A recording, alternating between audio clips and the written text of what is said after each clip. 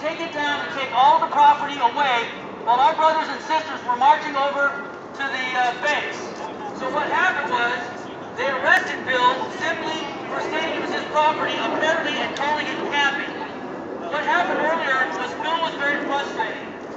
Bill lives out here, and he's growing frustrated. Important So fighting for your rights. Them saying he did not like you're wrong, there's your fine. Get back out on the street simply where out of you anger. belong. That is wrong. It is very unprofessional. It violates the law code here in Arizona, and it violates the law officers, peace officers. Another thing we're gonna change. Arizona code.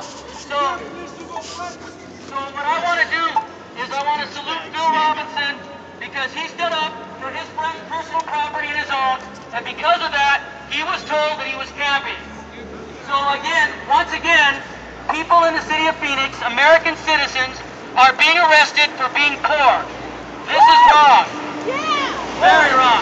I know I know many police officers from the 855 Military Police Company, the 860th Military Police Company, and they would not agree with this.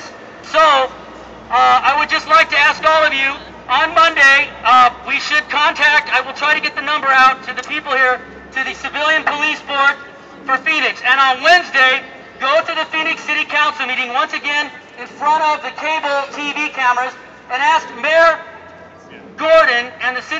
manager why they think it's all right to arrest people for the crime of being poor in Arizona. And I also want you to ask Mayor Phil Gordon why he just reappointed the Bank of America president of Arizona to be on the Phoenix Sky Harbor Aviation Board, uh, giving this man preferential treatment, conflict of interest, billions of dollars, while they're throwing people in jail like my buddy Phil Robinson. So I want you, whether you're an atheist, hope for the best for him. If you're spiritual like I am, religious, whatever, please pray for him because he's a very nice person and his other friend was arrested. I don't know his name.